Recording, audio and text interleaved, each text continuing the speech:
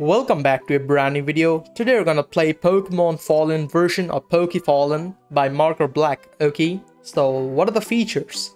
Generation 1 to 8 Pokemon, Mega Evolution, Follower Pokemon System, Partially Voiced Creations, Quest System, Unraveled, Mysteries, Discover New Hunts, Exploration Mode Activation, Hunting System with Wild Pokemons, shiny Pokemons only spawn in the open world, okay? Yeah, there's like 10% more of the stats in the shiny Pokemons now.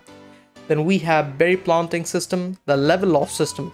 The level, level loss system works like if all the Pokemons in your party dies, the every each Pokemon loses one HP or you can say one level, okay, not HP.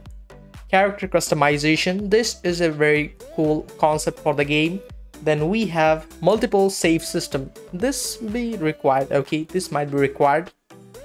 Now let's talk about the playable formats or playable setting formats. You need to download from the official discord server. I'll add the link for the download in the video description. You need to join and check the hashtag download game chat section from the discord server. You'll get two options such as the pc edition and the android edition.